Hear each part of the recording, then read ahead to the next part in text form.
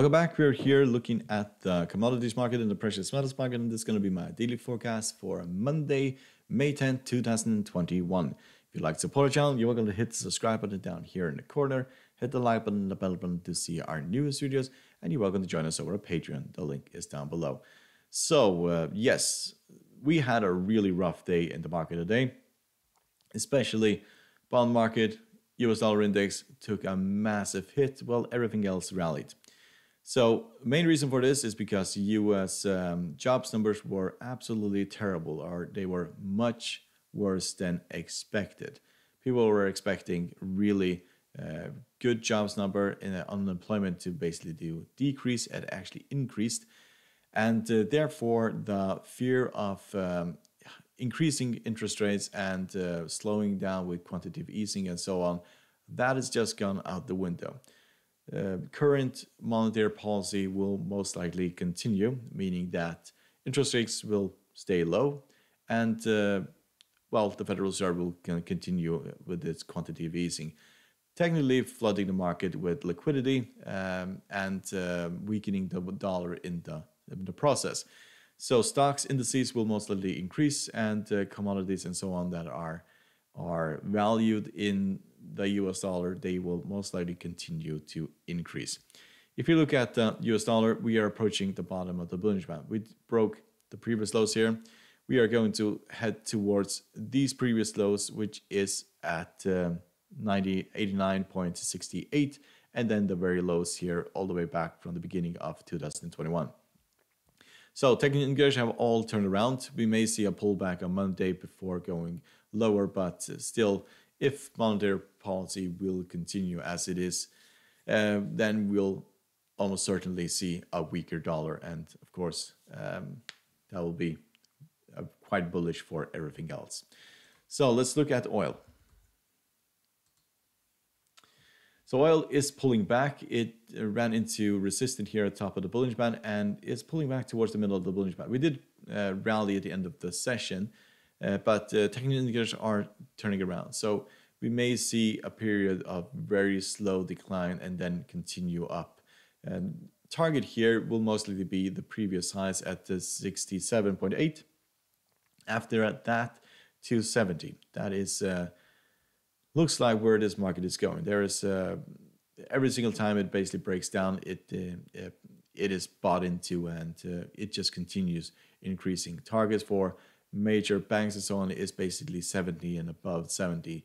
So uh, that is most likely where we're heading in the long run, or probably the next month or two. If you look at technical indicators, they are all turning around except for the MACD, which is just flat at this current stage. So let's look at the NASDAQ. NASDAQ, I'm sorry, natural gas. Yes, natural gas is um, trading in a very tight range here and has been for quite some time. So basically, very lows here and the highs here. And uh, if we manage to break above $3, then we are most likely going to test the previous highs over here, which is 3.09. If we break down from here, then the 20 exponential has offered resistance in the support in the past.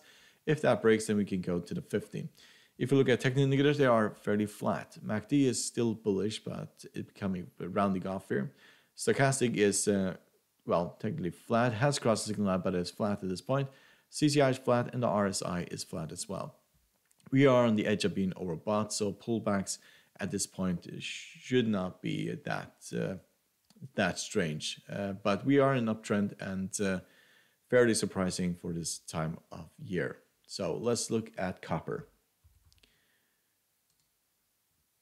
So copper just defies all odds, but um, but news has it that there is a shortage of copper in technically in the world, and when there is a, a shortage of a metal, then it will just completely uh, it will basically just shoot up in the air. This is one of the most important metal there is out there, and uh, when everything now starts again and so on, and there's a uh, there's a um, uh, supply shortage, then prices will go um, astronomical. It probably will target five at this current stage. Pullbacks at this point should be expected. We are on the edge uh, of the, Bollinger Band here. We're up nearly 3% today. And uh, if you look at the RSI, it's at 76. Technical indicators otherwise are very bullish. So it may take a long time before we break down. It doesn't mean that we'll break down on Monday because you can see here outside, outside, outside. But uh, when you get to the top, it is always a warning that it could break down. So let's look at gold. So gold did rally all the way up nearly to the 200 moving average and then gave most of those gains back. We are still fairly overstretched on the edge of being overbought, but a massive move this week from the middle of the Band at 1768 all the way up towards 1842. Fantastic move the last three uh, days, but uh, 200 moving average is holding still. Pullbacks should be expected next week before going testing the 200 moving average again. A break above that opens door to 1900 and then all the way up to 2000 and beyond that. Technical indicators are very bullish at this current stage. So let's look at silver. So silver also very nice run uh, rally yesterday, and the same goes for today. We did rally up towards 27.6 and then gave most of those gains back. We are also on the edge of being overbought. Technical indicators otherwise are very bullish, and we are very overstretched here in the bullish band. So pullbacks will most likely find major support down here at 26.22. Target here will probably be the previous highs up here at 28.3 and then all the way up to $30. So let's look at platinum. So platinum has tested the top of the Bollinger Band yet again and then broken down. So it's a very tight range and uh, technically really boring to trade. Uh, we are most likely going to see a pullback towards the bottom as this has rallied to the top, broken down, rallied, broke down, rally, and it looks like that is the pattern that we're going to see. Not a massive uh, movement to the upside or downside, but gradually grinding towards 1300. So technical indicators are still very bullish or gradually bullish, you can say like that. So let's look at Palladium. So Palladium has done what I expected it to do. It is fallen to support and then rallied.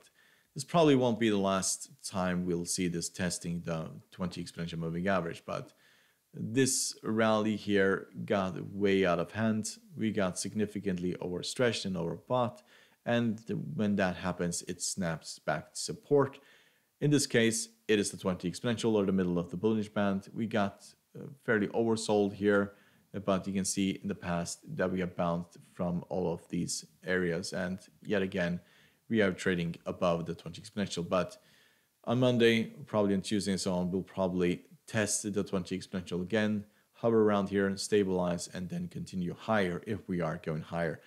Trending um, underneath the 20 exponential could leave open the door to the 50 moving average down here at 26.44. So let's look at aluminium.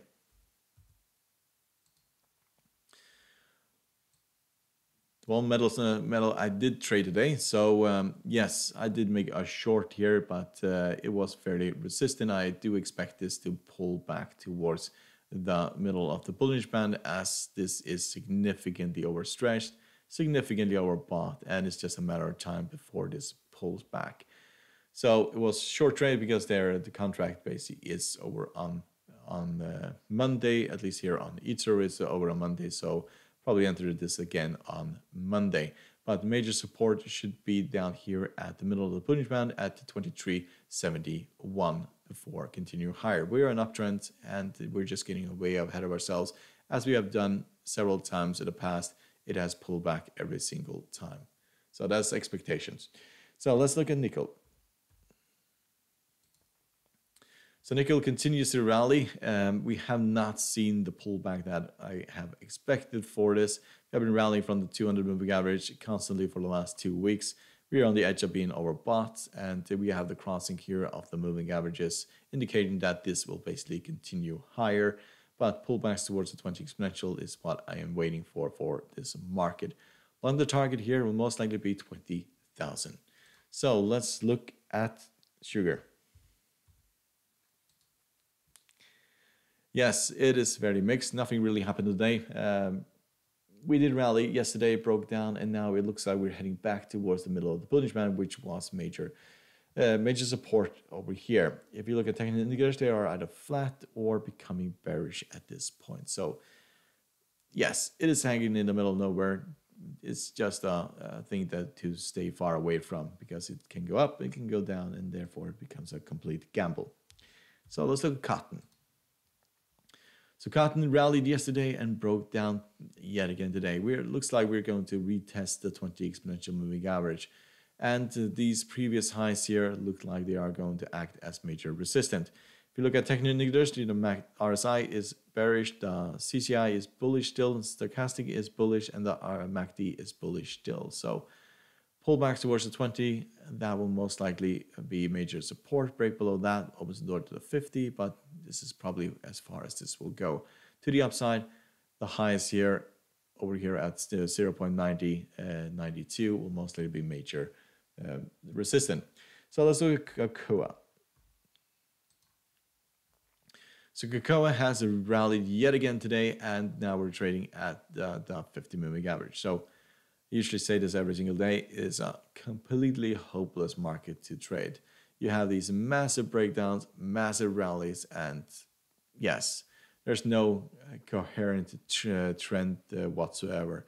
This was easy to trade, this was easy to trade, and same for most of these falls here. But recently, it's just been going sideways and it has been all over the place. And I would stay far, far away from this. If we were to break above the 50, we can have the 200 above and we can just get absolutely slaughtered there and just get sold back to the very lows. So let's look at wheat. So wheat continues to rally. We're trading at 762. Uh, technical indicators are very bullish, but we are significantly overbought. And we are also approaching the top of the Bollinger Band and also the previous highs here. We'll probably go all the way up towards the top, but pullbacks from here will mostly find major support at the 20 exponential, as this was also uh, the previous highs over here. So that is at 707 and just above 700. So that is probably as far as this will go if it were to break down. Otherwise, target long term is 1800. So hope it's uh, hope you find this helpful. You're welcome to support the channel by subscribing, hit the like button and bell button to see our new videos, and you're welcome to join us over at Patreon. The link is down below. Good luck and good weekend.